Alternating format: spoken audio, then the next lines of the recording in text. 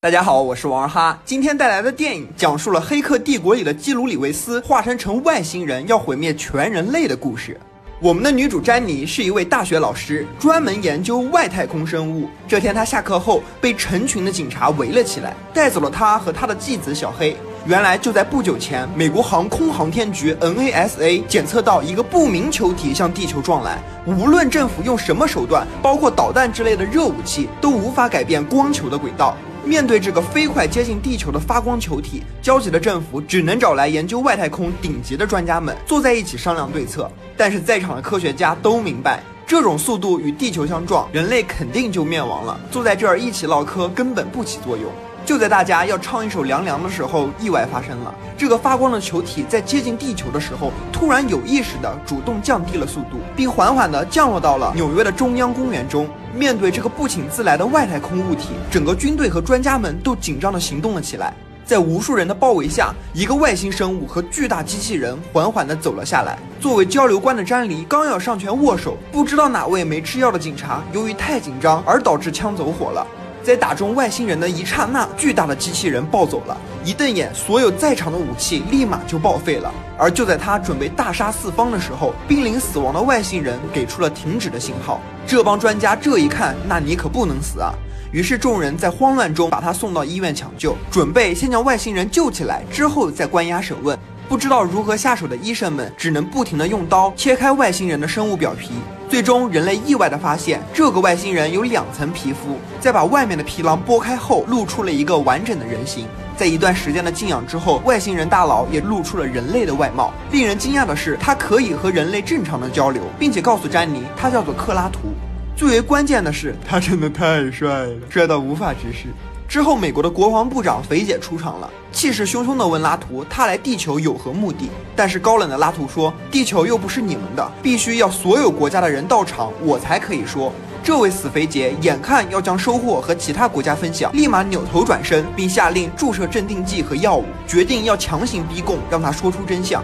哎，平日里管天管地，这还想管外星人？等一下，这个愚蠢的决定将会害死无数人。就在拉图即将被害时，詹妮将药物换成了生理盐水。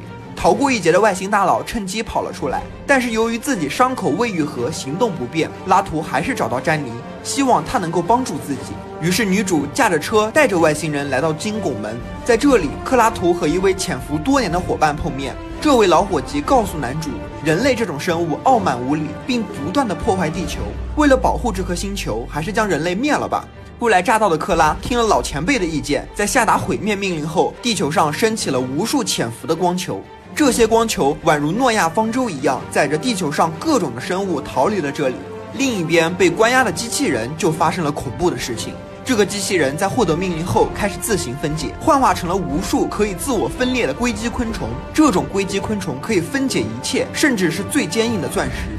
他们不仅轻松分解了人类，而且还打算破坏地球上人类建造的一切东西，企图还原地球生态。着急的肥姐眼看自己控制不了局势了，只能找到詹妮，希望她可以和克拉好好的谈谈。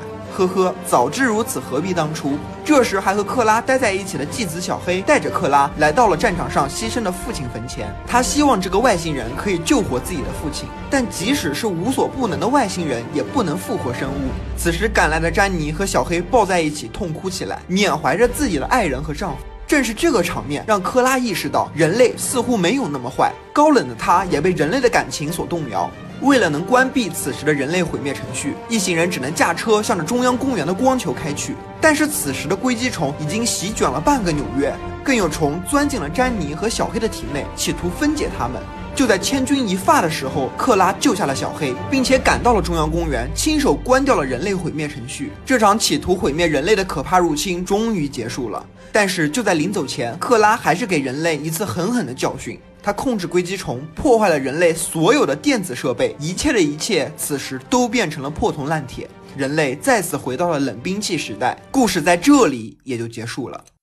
看完整部电影，我就纳闷了。你说光球带走地球生物保护物种，我能理解，但是从长城和金字塔能带走啥生物啊？那上面有啥珍稀物种啊？想不明白。好了，今天的电影就到这里了，观众老爷们点个关注，每天送上一部好电影。我是王二哈，我们明天再见。